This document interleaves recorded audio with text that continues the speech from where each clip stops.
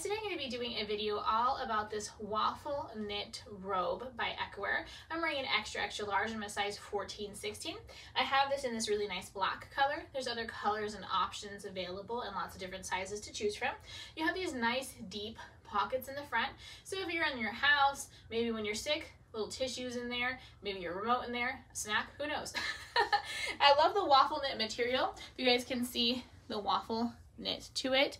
Really cute. It's very, very smooth, like really, really smooth. Feels soft against your skin. It's very insulative and warm. These are gonna be a fantastic material when you first get out of a shower, dry yourself off, pop this on while you're doing your skincare, your makeup in the morning, at night, whatever it may be. Um, for lounging around the house, just to warm yourself up, throw it over your other pajamas. I have underneath here another pajama set by Ekouaer that's like a short sleeve. So it kind of works really nice with that. Like say it's winter time and I want to have a little extra coziness, I could pop this on and lounge around in my house in it. Um, you can keep your hands warm if you're kind of sitting outside enjoying a book and a coffee or a tea or something. It's going to keep you nice and warm. I just really, really like this sash too. You could tie off to the side or something. And it also has the holders for the sash. So when you let go, they don't go anywhere, they don't fall onto the ground.